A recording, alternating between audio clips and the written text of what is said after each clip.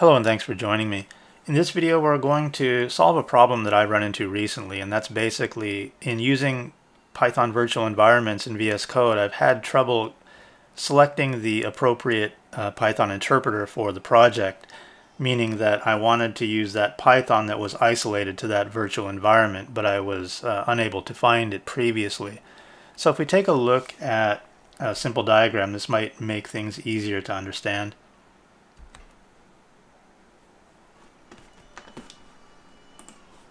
Here you can see I have a parent folder that I keep all of my project code in, but also I need to contain a virtual environment within that folder.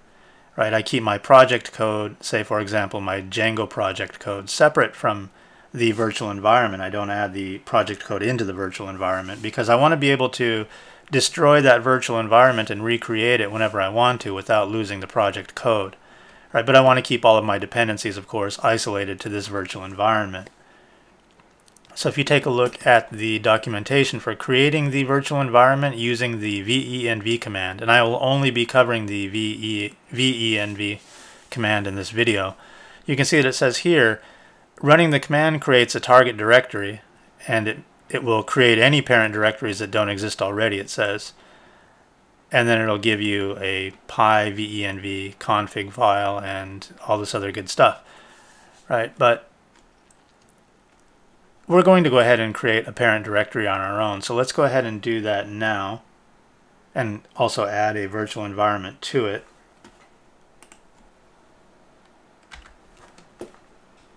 Alright, so we'll call our parent directory that contains our virtual environment and our project code my Python project. Okay, and then within this folder,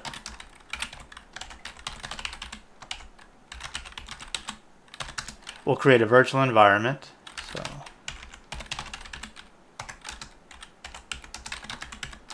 we'll call that my project venv. This will make it easy to identify when we select our interpreter. Okay, and we see we have that project environment now created within our folder. All right, and it's already activated, and that's because I was testing this out earlier and I didn't deactivate it. So let's just do that now. All right, so if we want to activate that um, that virtual environment, right, we can look in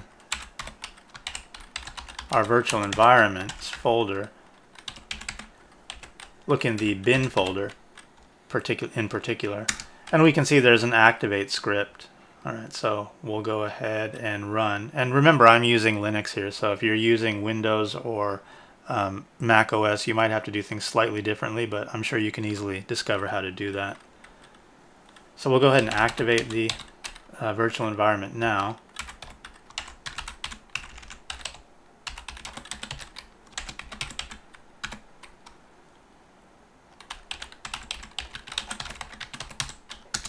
Okay, and you can see that it's activated because that the name of the environment has appeared at the head of the prompt again. Alright, and now say we want to install Django locally to that virtual environment. We can do that using pip install. Okay, and that's installing version 3.2.7. Right, and then we can start a project as well. So we can use Django admin to do that. Using the start project command. And we'll just call this my Django project.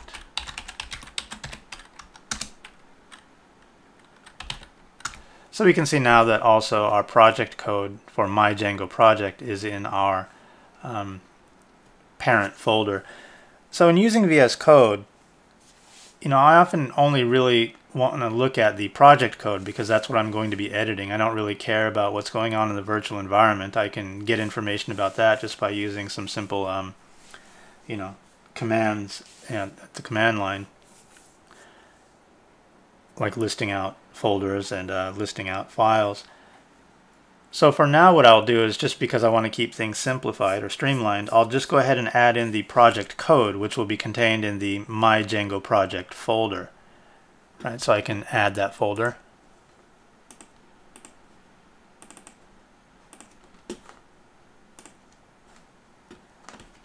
And you can see I've got all of the um, prepackaged files that you get when you start a Django project. Right, but I don't have the appropriate interpreter here selected. I have the global version of Python that I have installed, but I don't have the interpreter that I want. And if I try to look for it, I can go into my Django project. Remember, we called the environment my project venv, but I don't have that environment here. It's not finding it. It's not finding the appropriate interpreter from that environment to use. Right, so that's a problem. So if we go ahead and take a look at, and let me just go ahead and select that. If we take a look at our um, documentation at VS Code, you can see that if you have the Python extension, and you should have it, and let me show you what that is if you don't have it. I'm expecting that you do have it though. But if you don't have it or if you don't remember what extension I'm talking about, it's this Python here by Microsoft. All right, so make sure you have that in because that's going to look for uh, your virtual environments and find the appropriate interpreter for your project.